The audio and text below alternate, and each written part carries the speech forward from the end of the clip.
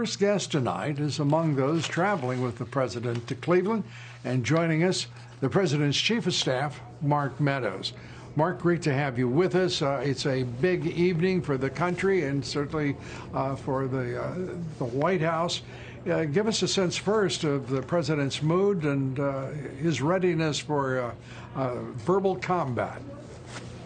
Well, just like when the president came down on that escalator, that he was ready to go to battle for the American people, he's ready to go to battle tonight to uh, tell the people and hopefully uh, inform the people that not only is he worthy of four more years, but based on his past performance, we should overwhelmingly uh, reelect him. Uh, he's uh, he's got his game face on. He's ready to do. He's well prepared. But I can say this: uh, listen, when we're looking at the president of the United States, he's accomplished more in 47 months than Joe Biden has in 47 years. And today, tonight, on this debate stage, uh, Joe Biden is going to have to account for that. It's all rhetoric and no action. Well, there's there will be. Uh, there, there's certainly the expectation there'll be a lot of action on that stage tonight.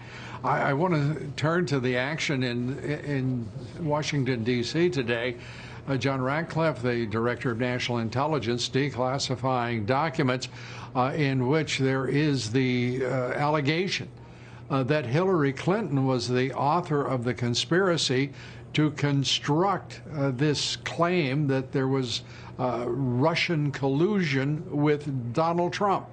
and that the intelligence agencies were aware of it, uh, and indeed had taken a referral to the FBI for investigation, and that there was ostensibly no action taken whatsoever by the very same FBI that spent years investigating this president while both in office and campaigning for that office.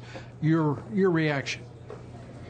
Well, I mean, isn't it amazing that we spent over $40 million in, in many, many months on the Mueller investigation, and yet there was no mention of this bombshell uh, declassification document uh, that came forth today? I can tell you this Hillary Clinton, based on this, this uh, uh letter that was put forth by Director Ratcliffe, was not only involved, in, uh, certainly in, in a scheme to accuse the president of what she was guilty for, but the real question tonight, hopefully on this debate stage is what did Joe Biden know about it? Was he part of it? I would suggest that indeed he was.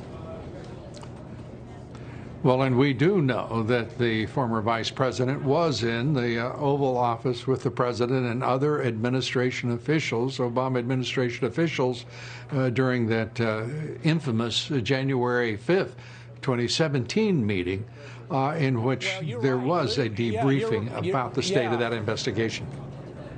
Lou, you're exactly right, and and Joe Biden can have it both ways. You know, when when they're getting informed, when the Obama, uh, Obama Biden administration is getting uh, informed by their own director of the CIA, when a, a number of uh, other officials, the FBI and others, are informed about this particular measure that was released today, uh, either he was absent without leave as the vice president, or he was part of it, and either answer is very troubling for the American people if he's asking for their vote for the highest office in the land.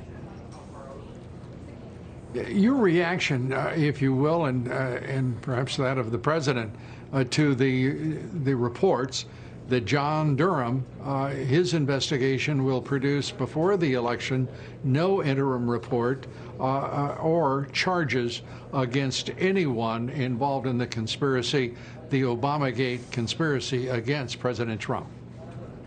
Well, I, I, don't want to speak for the president. He stayed out of this particular investigation, but John Durham has uh, spent many, many months, and I can speak on behalf of the millions of Americans I get to hear from on a regular basis. It's time that we have a verdict. It's time that people go to jail, and it's time that people are held accountable for what they did. And, and I can tell you that just based on documents I saw in my previous career as a member of Congress and what I believe is backed up by his investigation, uh, there should be indictments. Hopefully, they'll come.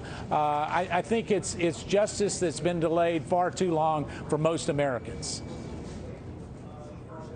And let us, if you would, uh, get your sense of what issue you think will dominate tonight's debate.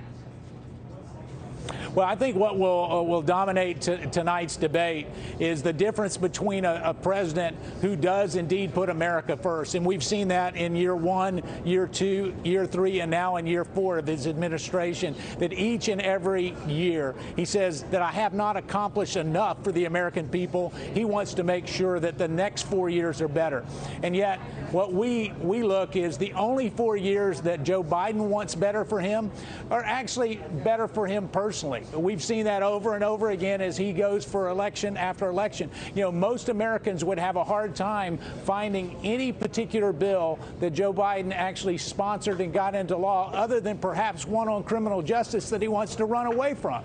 And so th- this is all about tonight about a, a mandate uh, that the president received some four years ago and a continuation of delivering on behalf of the American people that this promise, I get to see it each and every day. Every morning I get to see it where this president says, What are we doing for the American people today? I'm honored to serve him. He's honored to serve the people of this great country and ultimately deserves uh, to be reelected. Chief of Staff Mark Meadows. Mark, great to have you here. Thank you so much.